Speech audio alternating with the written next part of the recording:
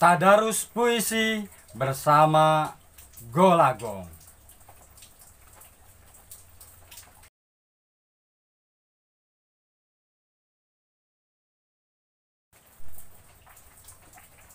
Sahabat Golagong yang dirahmati Allah Subhanahu wa taala.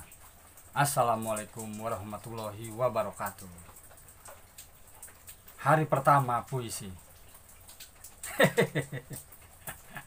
hari pertama puasa maksud saya. Lupa, hari pertama puasa dalam situasi pandemi corona.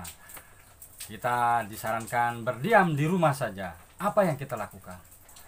Ketika ustadz-ustadz berceramah, biarkan Kurai Sihab, Ustadz Abdul Somad, kita dengarkan ceramah mereka. Di Golagung TV, Tadarus Puisi bersama saya. Sahabat Golagong yang dirahmati Allah Subhanahu wa taala. Tadarus puisi kali ini saya akan membahas tentang ibu. Bagaimana ibu dimuliakan? Umi, umi, umi. Dalam pendekatan literasi, sering orang mengutip kisah hadis bahwa ibu adalah madrasatul ula. Perpustakaan pertama, ilmu pertama bagi anak.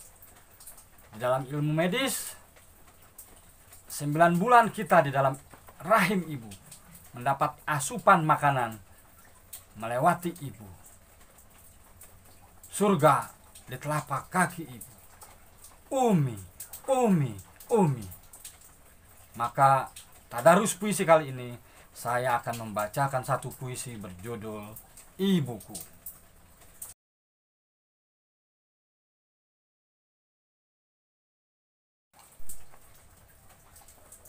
Ibuku Ibuku Pagi tadi ku jenguk kau dengan sebungkus kupat tahu. Kegemaran kita sejak dulu, lalu kita duduk di halaman rumah. Kau bercerita tentang lelakimu yang telah menyemaiku jadi perkasa. Ibu, kulihat buku-buku menumpuk di meja. Halaman-halamannya menunggu kau buka. Bukankah kau pernah berkata, Ibu? Membaca, menunggu lupa. Kau melihat waktu memintaku untuk duduk bersama menunggu anak-anak kampung datang menikmati dongeng yang kau bacakan setiap sore.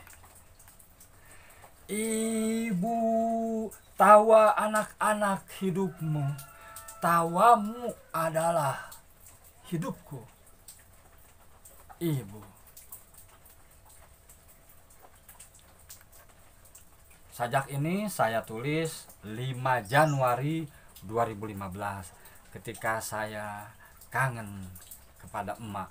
Setiap pagi saya biasanya membelikan kupat tahu, tapi lama saya tidak membelikannya.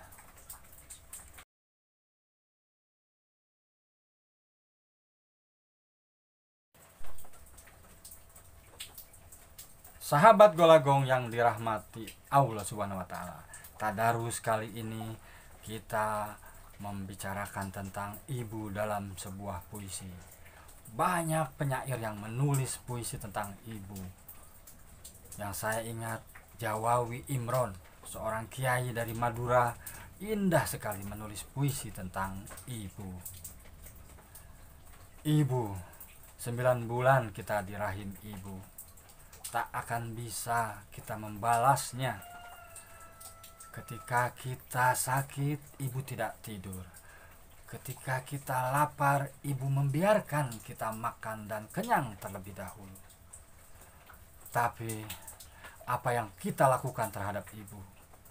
Jika kita ingin pergi ke satu tempat, ibu menawarkan diri untuk mengantar.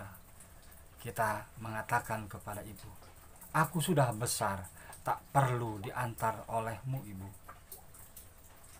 Ibu betapa besar jasanya.